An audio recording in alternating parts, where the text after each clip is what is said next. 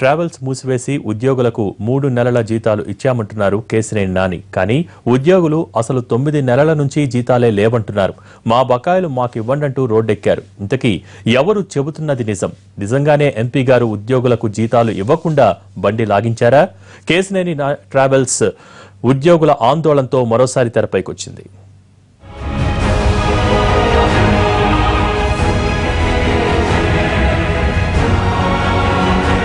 వందలాది మంది కార్మికులు. ఒకటి రెండు కాదు సుమారు పది నెలలుగా జీతాలు. కేతినేని ట్రావెల్స్లో ఉన్నటువంటి సిబ్బంది వీధులు పడేటువంటి పరిస్థితి వచ్చింది. రెండు తెలుగు రాష్ట్రాలే కాదు ఇతర రాష్ట్రాలకు సంబంధించినటువంటి సిబ్బంది యాభై మంది కలిపితే నాలుగు వందల యాభై నుండి ఐదు వందల మంది వరకు ఉంటారు. వీళ్ళ ఉపాధి సౌకర్యాలు ఏమిటి?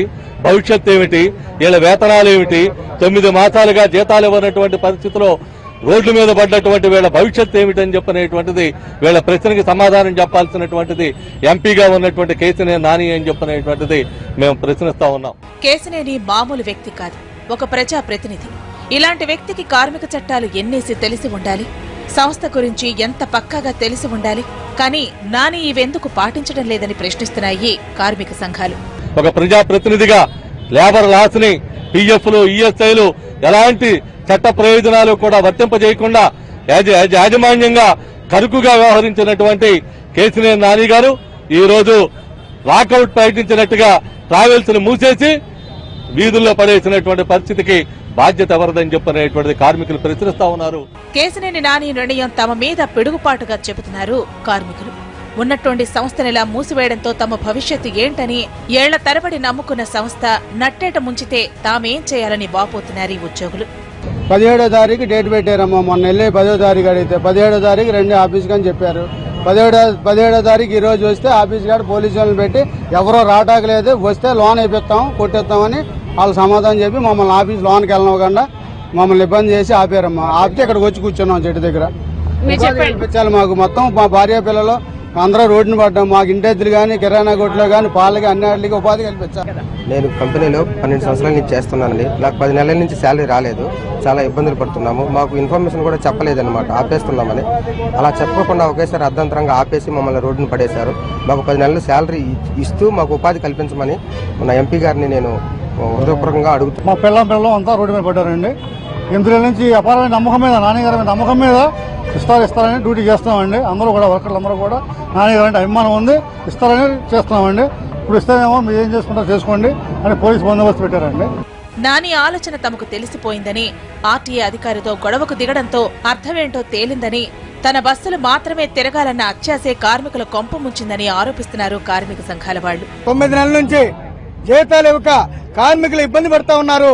నిన్న గనుక ప్రశ్న చేస్తే నేను చట్టబద్ధంగా వ్యాపారం చేస్తున్నానని చెప్పి చెప్తా ఉన్నావు. చట్టబద్ధంగా వ్యాపారం చేయడమే కాదు మొన్న నేను నిజ స్వరూపం నా ఒక్కడ బస్సులో తిరగాలి ఇంకెవడే తిరగడానికి లేదని చెప్పి ఒక ఒక డీటీసీ అధికారిని కమిషనర్ని దాడి చేశావే. ఈ రోజు ఐదు వందల మంది కార్మికులు రోడ్డున పడి నిన్ను ఏమడగాలని చెప్పేసి మేము అడుగుతా ఉన్నాం.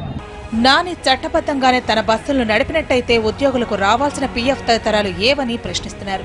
ఈ ప్రభుత్వం తరఫున కేసులేని ప్రజాప్రతినిధి కాబట్టి కార్మికులకు ఇవన్నీ దక్కుకుంటే ఊరుకునేది లేదని అంటున్నారు. ఈ ప్రభుత్వానికే ప్రజాప్రతినిధిగా ఉన్నావు. ఒక రాష్ట్రం ఒక విజయవాడ ఎంపీగా ఉన్నావు. దీన్ని వెంటనే నువ్వు తెలుసుకొని ఆ రకమైన పద్ధతిలో కార్మికులను కనుక నువ్వు సరైన పద్ధతిలో కనుక చెల్లించాల్సిన రీతిలో కనుక చెల్లించకపోతే సిఐటి ఊరుకో చూస్తూ ఊరుకోదు. కార్మికులతో బుధం బుధం కలుపుతాయి దీని సంగతి ఏంటో తేలేంత వరకు కూడా కార్మికులకు అండగా సిఐటి ఉంటుంది. గత కొన్ని నెలలుగా జీతాలు రాకపోవడంతో ఉద్యోగుల ఆవేదన వర్ణాతీతంగా మారింది. ఇప్పుడిస్తాం అప్పుడిస్తామంటూ తిప్పుతున్నారని సార్ ఢిల్లీలో ఉన్నారంటూ మభ్యపెడుతున్నారని ఆవేదన వ్యక్తం చేస్తున్నారు. ఈ సంవత్సరంలో పది సంవత్సరాల నుండి పనిచేస్తున్నాను నేను. అయితే రెండు రెండు నెలలకు ఒకసారి మూడు నెలలకు ఒకసారి జీతాలు ఇస్తూనే ఉన్నారు. ఇప్పుడు ఎనిమిది నెలల నుంచి ఆపేశారు. మేము అడిగితే రేపు ఇస్తాము ఎల్లుండి ఇస్తాము అన్నారు. గుమస్తాలను అడిగితే సార్ ఊర్లో లేరు చెక్కులు కింద సంతకాలు పెట్టాలి. ఢిల్లీలో ఉన్నారు బొంబాయిలో ఉన్నారు అక్కడ ఉన్నారు ఇక్కడ ఉన్నారు అని చెప్తున్నారు. ఆఫీస్కొచ్చి బండ్లు పెట్టమన్నారు. పెట్టాం. మూడో తేదీ జీతాలు సెటిల్మెంట్లు అన్నారు కాలేదు. మూడో తారీఖెళ్ళి పదిహేడో తేదీ వచ్చింది. అయినా సరే మా జీతపత్యాలు ఊసేలేదని బావురమంటున్నారు కేసినేని ట్రావెల్స్ ఉద్యోగులు. ఎవరో మూడు నెలల జీతం ఎగస్ట్రా ఇచ్చారంట కదా మా ఇంటి బిల్లు ఎందుకు ఎవరు పాల బిల్లు ఎందుకు ఎవరు వాళ్ళ గొడవ. అప్పుల వాళ్ళు గొడవ. ఏ ఉద్యోగానికి వెళ్ళాలని అక్కడ ఖాళీ లేదు. కేసీఆర్ చేశారా? ఆయన పెద్ద రౌడి. మేము ఆ కంపెనీలో చేసే వాళ్ళకి ఉద్యోగాలు లేవు. ఎక్కడ చూసుకొని ఏ కంపెనీకైనా ఉద్యోగం లేదు. న్యాయంగా తమ జీతాలు తాము అడగటానికి వస్తే పోలీసులు పురమాయిస్తున్నారని కొల్లుమంటున్నారు కేసునేని ఉద్యోగులు. ఎవరు వచ్చినా సరే లోన్ వేసామని చెప్పి చెప్పారు. మేము గొడవ రాలేదు మా సార్ గారు రమ్మన్నారు. మేము జీతాలు అడగడానికి వచ్చామనంటే మా ఎస్ఐ గారు వాళ్ళు కూడా మాకు కొద్దిగా సహకరించారు. మాట్లాడిచ్చారు. మాట్లాడితే మీరు ఇన్ని రోజులు ఏం చేశారు? హైదరాబాద్ వెళ్ళండి అక్కడ వెళ్ళి తీసుకోండి. లేదా ఆ సార్ గారు ఊళ్ళో లేరు ఆయన వస్తారు అడిగి తీసుకోండి. ఇక్కడే మాట్లాడమాకండి. ఎక్కువ మాట్లాడితే మర్యాద ఉండదు అని చెప్పి పోలీసు వాళ్ళు పెట్టి మమ్మల్ని గట్టిపిచ్చారు ఇన్నాళ్ళుగా జీతాలు లేకుంటే ఎలా? ఇంటద్దే పాల బిల్లుల అప్పుల వాళ్ళతో గొడవ గొడవ. ట్రావెల్స్ నడుస్తుంటే ఏ బాధ లేదని సడన్గా మూసేస్తున్నామని చెప్పడంతోటే అసలు చిక్కంతా వచ్చిందని ఒక్కో ఉద్యోగి ఒక్కో బాధ వెళ్ళగక్కుతున్నారు. కార్మికుల సంక్షేమం అని చెప్పేసి ప్రభుత్వం చెప్పింది. తొంభై సంవత్సరాలుగా తిరుగులేని సంస్థగా ఉన్నటువంటి కేసీఎన్ ట్రావెల్స్ అకస్మాత్తుగా మూసివేస్తున్నామని చెప్తే కనీసం ఓ చిన్న సంస్థ ఒక పది మంది ముప్పై మంది ఉన్నటువంటి ఒక కంపెనీ కూడా మూసివేయాలంటే కార్మిక చట్టాలు వర్తించాలి నోటీసులు ఇవ్వాలి. అటువంటిది ఏమీ లేకుండా పదిహేను వందల మంది కార్మికులు రెండు రాష్ట్రాల్లో వారి జీవనోపాధిని కోల్పోయారు. పైగా వారికి బకాయిలు చెల్లించాల్సినటువంటి పరిస్థితి ఉన్నది. అలాగే ఉపాధి కోల్పోయినటువంటి ధర్మిల వాళ్ళంతా స్కిల్డ్ డ్రైవర్లు క్లీనర్లు మెకానిక్లు ఇరవై ముప్పై సంవత్సరాలుగా పనిచేసినటువంటి డ్రైవర్లు ఉన్నారు మెకానిక్లు ఉన్నారు. వీరందరికీ ఉపాధి కల్పించాల్సిన బాధ్యత ఎవరిది? సంస్థ యాజమాన్యానికి చిన్నా చితక సంస్థలు మూసేస్తేనే దారుణమైన ప్రతిఘటన ఎదురవుతుంది. యాజమాన్యాన్ని తీవ్రంగా నిలదీస్తారు.